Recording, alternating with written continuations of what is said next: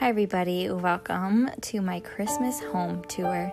Today, I am sharing with you how I've decorated my small home in a rustic cottage farmhouse style and with, of course, lots of thrifted and vintage pieces. So, I will probably not be linking a whole lot of what I have in the description box but I just hope to inspire you with this video. It is a collab with several other participants hosted by Robin Johnson.